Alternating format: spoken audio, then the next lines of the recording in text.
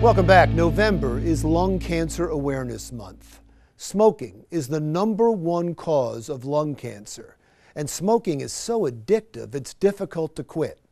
But Jersey Matters' Kimberly Kravitz introduces us now to a New Jersey woman who kicked the habit and changed her life. Kimberly. Lung cancer is the leading cause of cancer death worldwide, and a huge contributor of that problem is smoking. We spoke with one New Jersey woman who decided to kick the habit altogether before it was too late. I mean, you know, this is an investment into your health. 53 year old Natasha Wyatt Johnson of Whiting, New Jersey, took her final cigarette this past October, but it wasn't to save herself from a lung cancer diagnosis. I was having weight loss surgery. I was a good candidate for it, and that was one of the requirements quit smoking. Dr. Thomas Bauer, chairman of surgery at Jersey Shore University Medical Center, says that your appointment would be canceled if nicotine was detected before any surgery. Any list of surgeries that you can come up with, the risks of complications are much less if you stop smoking. Uh, ideally, a month uh, before surgery, but you know, at least two weeks. Natasha, a smoker for over 40 years, has tried to kick the habit before, but this time she thinks it will stick.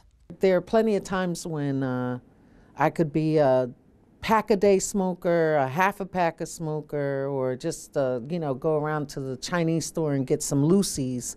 Now that um, I'm done with the surgery, I just, I don't, I don't have any desire for it at all and it certainly has been easier on her pocketbook. You know, I have like new copays I didn't have before that I've got to deal with. And so if I was smoking, I'd probably be wondering where I'd get the money from, but I'm kind of just like letting that go to that. You know what I mean?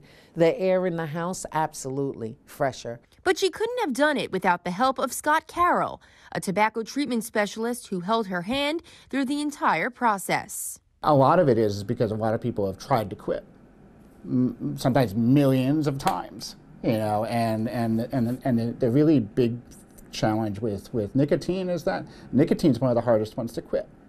Like it's harder than alcohol, it's harder than cocaine, it's harder than heroin and opiates.